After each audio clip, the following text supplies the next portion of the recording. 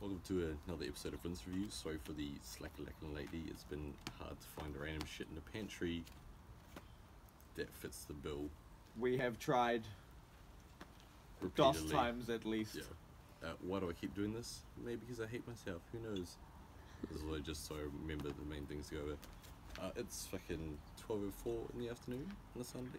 Nice, lovely day. I just been to Matt's, Matt Brown's uh, birthday party. Today, Trying uh, refried black beans. Um, heard a lot about them. Never tried them, obviously. Packaging looks shit as fuck. it's like the Mexican version of Chinese. Um, there's a little. yeah, it's.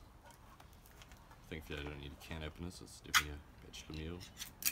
Ooh, that looks like fucking dog food. Oh, it smells somewhere between corned beef and dog food. Oh. Um, oh, fuck, that is dense. It's, uh, Good luck, bro. yeah, cheers.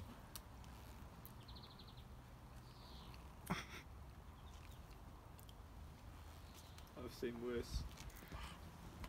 Like Just. so sticky and pasty. Like flavorless corned beef.